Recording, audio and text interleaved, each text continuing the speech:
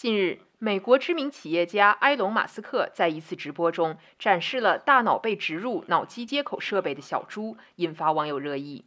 人类大脑中真的可以植入芯片、电极等设备吗？实际上，在医学界，往患者脑中植入电极的技术早已有应用。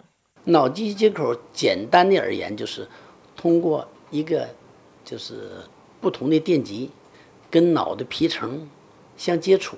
来读取它的信息，来真正的用于这个生活当中，啊，这个最简单的是在医医学上，医学上你比如说我们把这个电极插到脑里来记录脑电呐，我们在治疗帕金森的时候把这个电极插到在这个脑的不同核团，我们来治疗震颤和僵直啊。据介绍，脑机接口在医学领域最常见的应用就是对帕金森病的治疗。帕金森病虽然早期可以通过药物控制，但病情发展到中晚期后，药物效果会逐渐下降。因此，患者脑内需要通过手术植入电极芯片来进一步治疗。就是把两个电极芯片啊，从这个额部，然后放在脑内的固定的一个核团位置，然后在胸部呢放一个电池，我们叫脉冲发生器啊，给予它的微电流持续的刺激，就通过这个磁场的刺激，这个核团我们叫丘脑底核。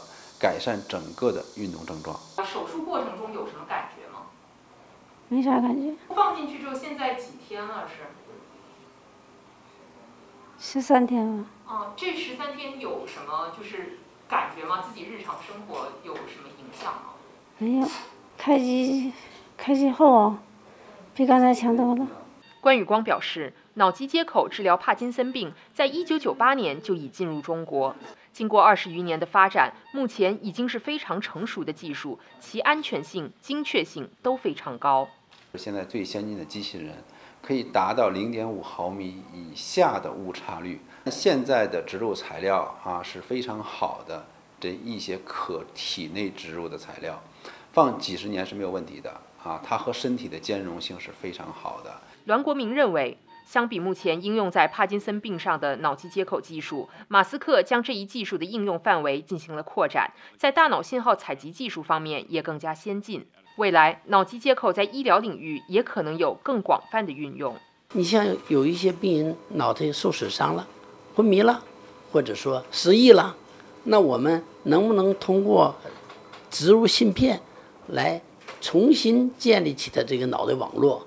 来使它恢复记忆，来使它这个能达到我们更好的这个治疗，提高我们的认知和记忆的这些功能，这些都是未来我们通过脑机接口来解决的。